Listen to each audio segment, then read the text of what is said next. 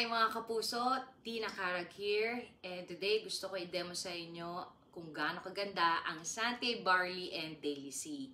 So, ito, itong basong to, this represents our body na as we age, talaga nadideplete yung mga healthy cells natin, madali tayong mapagod, madali tayong dapuan ng sakit.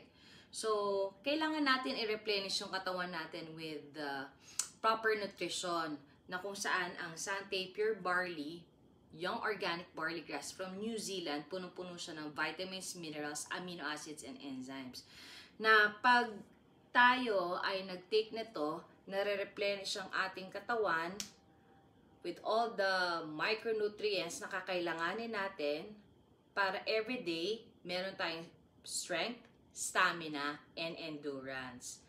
Kasi kailangan natin yan as we age eh. Talagang hindi natin maiiwasan ang pag-edad. Tama? So, kailangan natin tulungan yung katawan natin mapanatili yung liksi, sigla. And ang katawan natin actually is 60% water, conductor siya ng electricity. So kung wala tayong energy, 'di ba?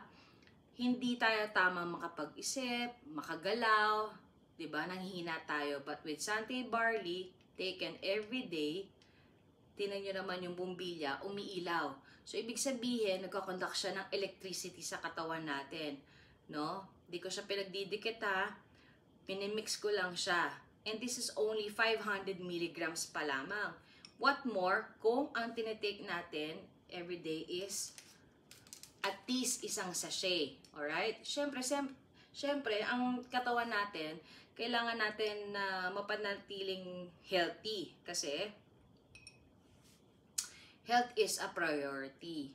Kaya, tinan nyo, pag nag, uh, sa Sunday barley tayo every day, may energy more energy, mas happy. So, imagine natin, kung wala tayong uh, Sante barley, wala tayong energy. With Sante barley, may energy tayo. No? Strength, stamina, and energy. Without Sante barley, wala. Alright? So, good to know.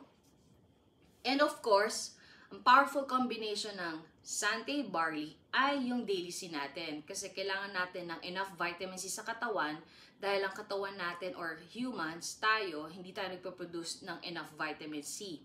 Ang vitamin C kailangan natin yan to fight infection, palakasin ang immune system natin para labanan yung virus and bacteria and other infections out there.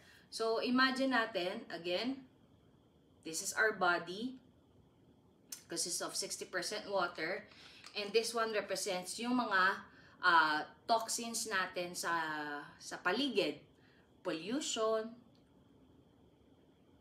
pagkain ng di tama, tama, uh, ano pa, stress, overwork, fatigue, talagang dadapuan tayo ng sakit niyan.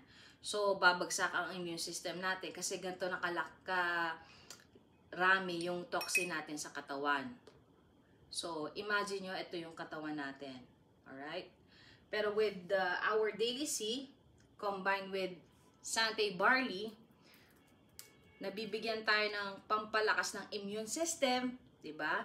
Para kahit nasa uh, labanan tayo, no, ng buhay, kaya niya tayong proteksyonan, palakasin ang immune system natin para hindi tayo madaling dapuan ng infection, virus, bacteria. And even though na tayo ay uh, makasama sa mga tao medyo carrier, no? O sabihin natin nakakalanghap tayo ng pollution, hindi natin maiwasan. As long as we take our daily C daily, protektado tayo. Yan ang kagandahan. O, ba? Kaya love na love ko tong Sante Barley and Daily C. Kaya nga tawag sa kanya Nutri-Pair.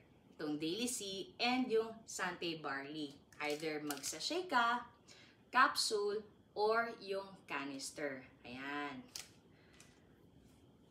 So, that's it. Thank you very much.